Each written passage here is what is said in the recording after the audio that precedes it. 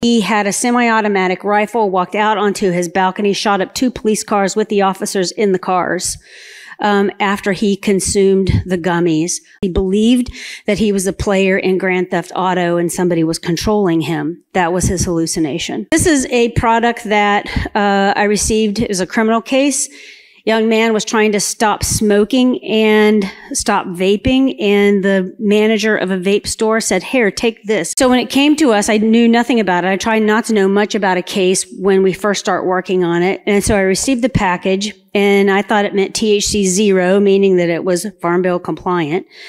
And um, and so we started analyzing it and you know analytical chemist i don't know what that thing is. So we began unpacking it. It's really THC-O acetate so the young man took three gummies out of this pack. Um, he had a semi-automatic rifle, walked out onto his balcony, shot up two police cars with the officers in the cars.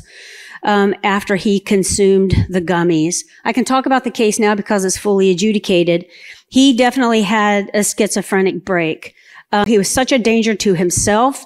Um, he was whisked away to a mental health facility that night because he was a danger to himself and the other inmates in the holding cell. He stayed essentially chemically lobotomized for about two years. Two years. Um, and so I worked with his forensic psychiatrist, um, who was working with him so that uh, to determine when he was sane enough to stand trial. Because you might imagine the police department didn't care. So he's still going to stand trial for attempted murder of two police officers. Um, and so when he was finally able to stand trial, he was still heavily medicated, but he was lucid enough to be able to sit for his own trial. Um, and he was found not guilty by reason of insanity.